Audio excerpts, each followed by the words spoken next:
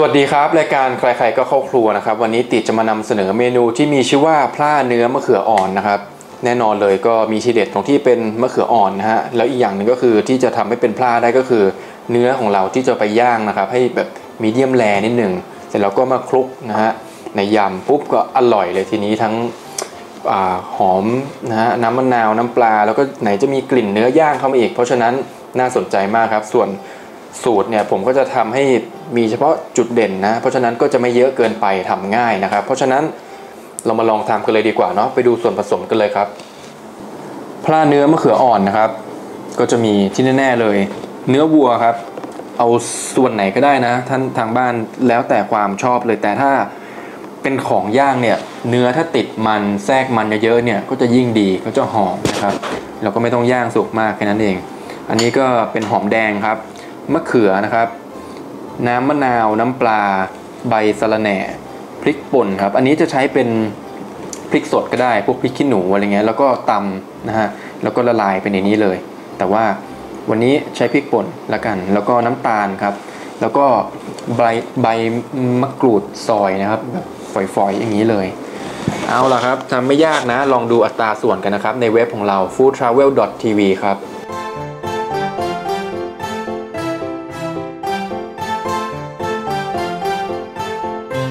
โอเคครับ เรามาดูที่ขั้นตอนที่ใช้เวลาที่สุดเนาะก็คือการย่างเนื้อนั่นเองนะครับ เพราะว่านอกจากย่างเสร็จแล้วเนี่ยเราจะต้องเอาไปพักให้เนื้อเนี่ยหายหายร้อนก่อนเพื่อที่เลือดมันจะได้ไม่ไหลนะฮะทีนี้พอกระทะย่างเราร้อนแล้วผมก็จะเอาลงไปเลยนะครับ รอแป๊บหนึ่งเราเราจะเอามีเดียมแรนะครับ เพราะฉะนั้นเราจะใช้ไฟแรงแล้วก็ ให้ข้างนอกเนี่ยมันสุกนะฮะเป็นแบบว่าเกรียมๆนิดนึงนิดเดียวก็พอเนาะแล้วก็ข้างในเนี่ยยังยังยังไม่สุกมากนะฮะอันนี้เนี่ยจะทำให้เนื้อเนี่ยมีความยังคงความอร่อยมากที่สุดนะครับ เป็นวิธีที่ดีที่สุดเลย วิธีย่างก็ไม่มีอะไรมากครับ ด้านละประมาณ แล้วแต่ความหนาของเนื้อนะครับก็คือสังเกตเอาก็ได้ว่าจาก สีที่มันเนื้อมันสุกเนี่ยมันจะเริ่มกินขึ้นมาจนเกือบถึงตรงกลางนะฮะก็เป็นอันใช้ได้แล้วก็พลิกอีกด้านหนึ่งแต่ส่วนส่วนใหญ่แล้วผมมักจะใช้ความรู้สึกเอานะฮะก็คืออ่าพอรู้สึกว่ามันใกล้สุกแล้วก็พลิกอีกด้านหนึ่งเท่านั้นเองนะฮะอาจจะเบาไฟนิดนึงถ้าแรงเกินไปนะครับ ส่วนพวกเศษเนื้อนี่ก็อย่าไปทิ้งมันครับ ผมก็จะมาใส่ด้วยนะฮะ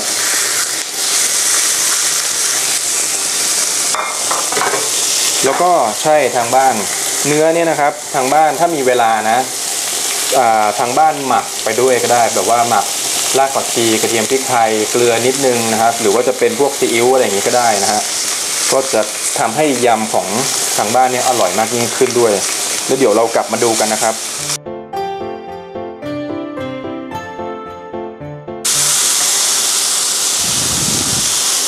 เสร็จแล้วนะครับ เนื้อของเราก็ย่างแค่ แค่พอสุกข้างนอกก็พอให้ข้างในยังมีเดียมแรอยู่หน่อยเนาะก็พักไว้ก่อนครับเอาออกมาอย่างนี้อย่าเพิ่งหั่นทันทีนะท่านผู้ชมรอให้เนื้อของเราเนี่ยเย็นลงกว่านี้สักหน่อยนะครับ แล้วก็เดี๋ยวเราไปทำส่วนของการยำกันครับครับ ตอนนี้ก็มาถึงขั้นตอนการยำแล้วเราใกล้จะได้ทานกันแล้วนะครับ ผมก็จะละลายพวก น้ำตาลกับน้ำปลามะนาวพริกอะไรไว้ก่อนเลยนะ เพื่อความรวดเร็วนะครับ ก็จะนี่เลย น้ำปลาน้ำตาล น้ำมะนาวแล้วก็พริกป่นครับ หาช้อนมาคนสักเล็กน้อยนะครับ ให้มันเข้ากันดี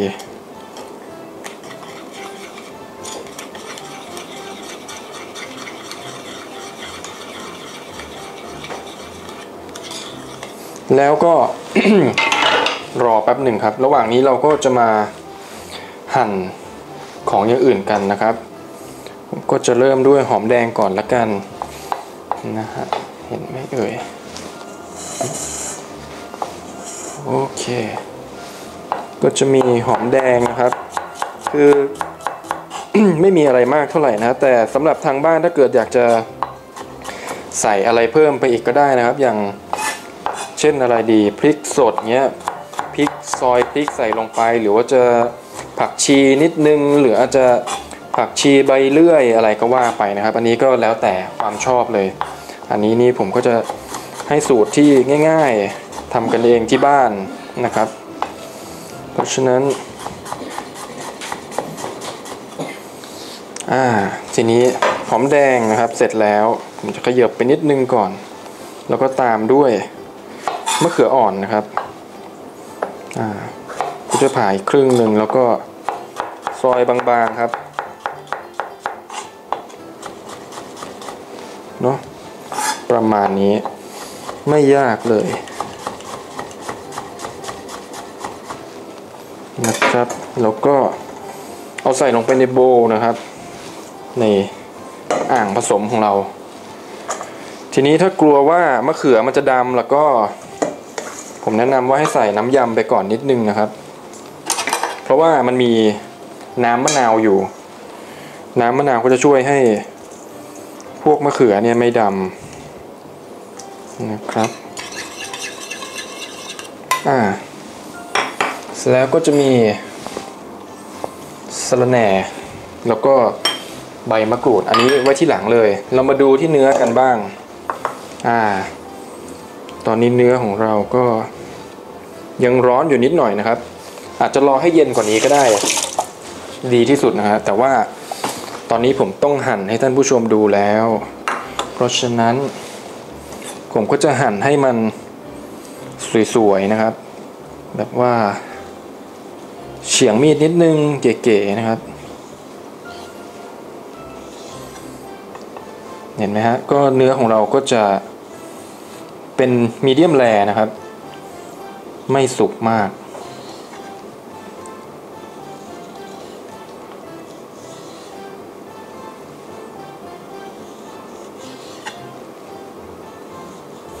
เห็นไหมครับสังเกตว่าถ้าเกิดเราหั่นตอนที่มันยังร้อนอยู่เนี่ยทางบ้านจะเห็นว่าเป็นเลือดใช่ไหมมันก็ยังซิบซิบอยู่เนี่ย เพราะฉะนั้นเนี่ยเราต้องรอให้เย็นจริง ๆนะครับ แล้วค่อย ค่อยหั่นมัน อ่า ทีนี้ก็ไม่มีอะไรมากแล้วครับ ขั้นตอนที่เหลือก็เพียงแค่ยำทุกอย่างลงไปเดี๋ยวผมขอเช็ดเขียงแป๊บหนึ่งนะ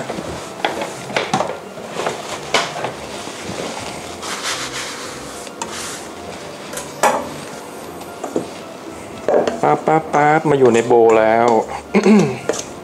นะครับ ทีนี้ก็จะมีเหลืออีกแค่นิดเดียวเท่านั้นเองก็คือ ใส่ใบต่างๆเนี่ยลงไป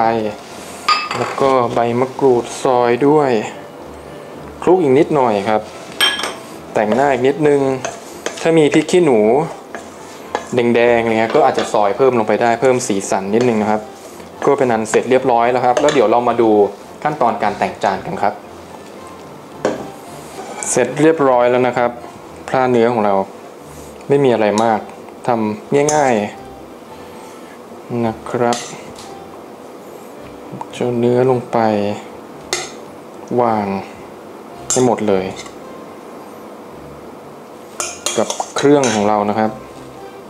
อันนี้ผมแอบใส่พริกขี้หนูสีแดงเข้าไปด้วยนะครับ เพื่อสีสันเท่านั้นเอง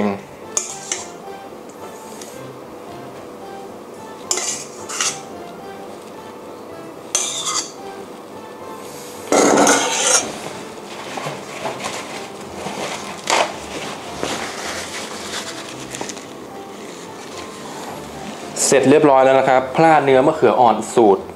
ง่ายๆ homemade ทำเองที่บ้านนะครับ แล้วก็เอายอดสะระแหน่ที่เหลือจากการเด็ดใบเมื่อกี้มาวางไว้ปั๊บก็ดูดีแล้วอ่าโอเคนะลองทำดูนะครับ อัตราส่วนเหมือนเดิมนะครับ เข้าไปคลิกดูที่เว็บไซต์ของเรา foodtravel.tv ครับ วันนี้ควงตะหลิวกินเที่ยวไทยไปกับ foodtravel.tv สวัสดีครับ